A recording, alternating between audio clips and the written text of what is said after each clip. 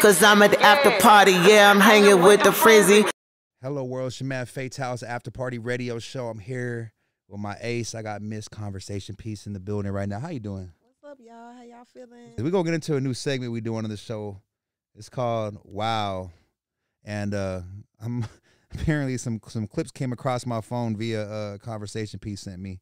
And this first clip right here, I'm gonna let you open this one. What the heck are we looking at right here? Well, Like- this is someone's worst nightmare when you go to a concert. So basically, you Oh think you're gonna have the best time of your night because the celebrity is calling you on stage, right? You like He had the mask on. Calling me on stage. That's the is that the mask? Is that Jim Carrey mask?